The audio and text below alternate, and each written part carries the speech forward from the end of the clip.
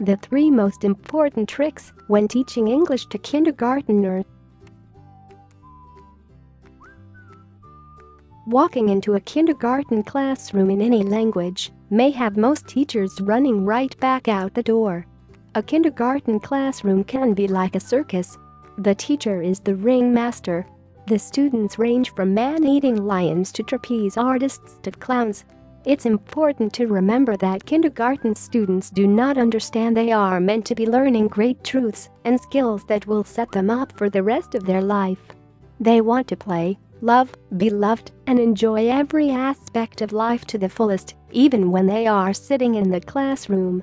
Even the physical excitement that kindergarteners have can be used to create an even deeper understanding of language and should never be seen as bad. Children love to explore and learn. Teachers need to understand that and guide it, not stomp it out. An effective teacher can utilize this zest for life through many areas, including music, games, and consistency in the classroom. This post was written by our ITTT graduate Sarah S. Use a lot of music. Music has many uses in a kindergarten classroom.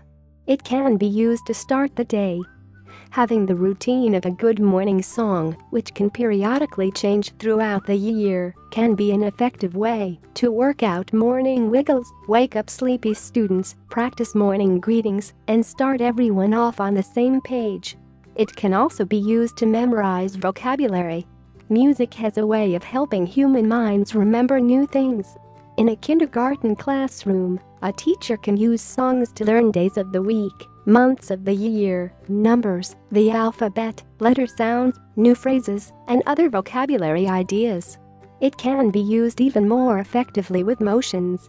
Songs that have motions added to help kindergarteners move their bodies will increase memory, especially if the motions are related to the words. For example, head, shoulders, knees, and toes is a song that is easy to memorize and sing, is silly, and has the singers touching the body parts in the song. For most students, they do not even realize they are learning something. They are having fun singing and dancing. Everything is fun in Game 12 games. Another way that kindergarten students can learn and have fun in the classroom is through the use of games. Sometimes, games can be utilized to help students focus. Distracted students can be easily redirected through a quick game of Simon Says ending with the students sitting down with their hands in their laps. Games can also help teach vocabulary.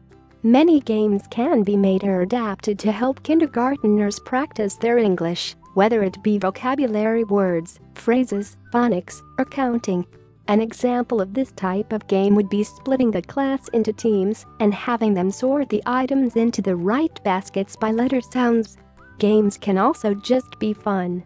Students can still be practicing their English without a specific goal in mind. It can be at the end of a class, when they have been listening well all day, or at the end of a week after a good spelling test. Games are a great way to guide students' energy into a productive outlet Consistency is key. The last aspect of a kindergarten class that is vitally important is consistency. Consistency is important in regards to the language one uses as the teacher. If the teacher uses the same words, such as clean up time, every day, the kindergarten students will catch on over time. If the teacher uses clean up time one day and it's time to clear away the garbage the next day, the students will become confused. It's important, especially at first, to use the same vocabulary day after day until it has become consistent. The students know what is expected of them, which causes them less anxiety.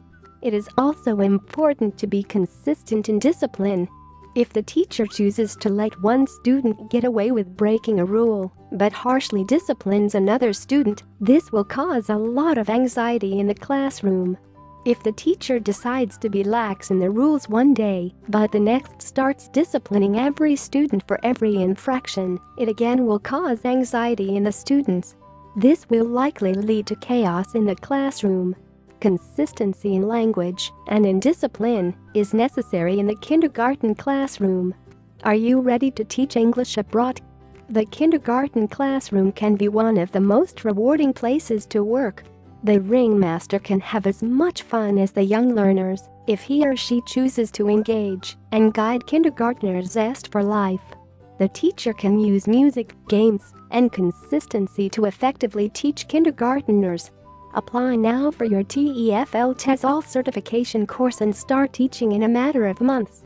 Speak with an ITTT advisor today to put together your personal plan for teaching English abroad.